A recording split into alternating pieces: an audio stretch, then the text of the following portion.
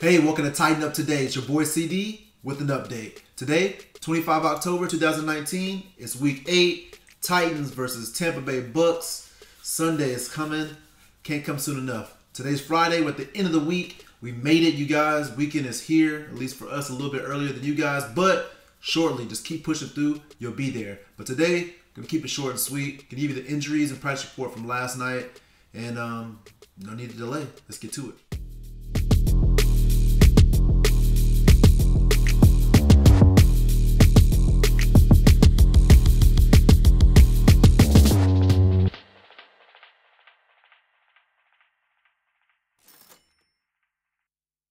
All right, now welcome back. Let's knock out these injuries. So Corey Davis is still on the injury report as we expected with that illness, but he was a full participant yesterday. They're showing him as questionable. I'm thinking it's more of a probable and that he will play um, now that we got a couple days before kickoff.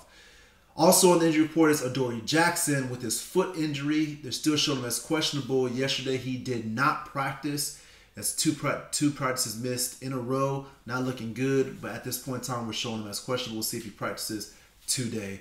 All right, Chris Milton did not practice again.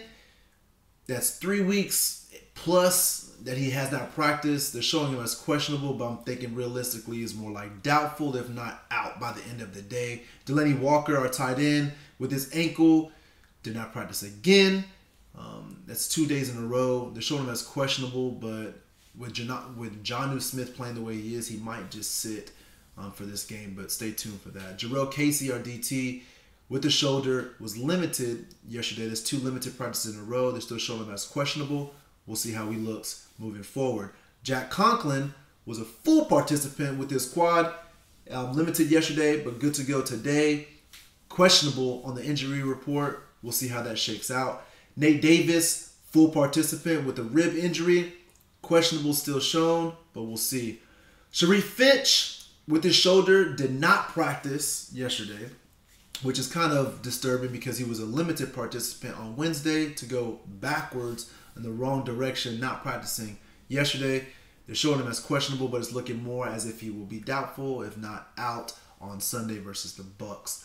Rashaan Evans, our linebacker with a shoulder injury, was limited in practice again. This two days in a row limited. I do believe they're showing him as questionable. I believe that he will play, but we're still going to hold off for now he's been limited in the past over the past couple weeks based off of that shoulder. The same injury, I'm sorry, the same day that Jayon Brown went out um, with his injury, Rashaan got dinged up, whatever, on that shoulder, but he's been kind of nursing it. I don't think that we want to go to a backup. I think that he plays for certain, but stay tuned on that. So we got Wesley Wood Woodyard was a full participant sort of limited yesterday. I told you guys it was undisclosed. At that moment when I told you it was undisclosed, come to find out it was actually an ankle injury. But again, full participant yesterday, showing as questionable. I don't think it will be an issue.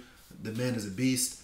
We'll get down to that. So at this moment, I really want to take a take a second to thank you guys for liking, watching my videos, and subscribing over the past few weeks.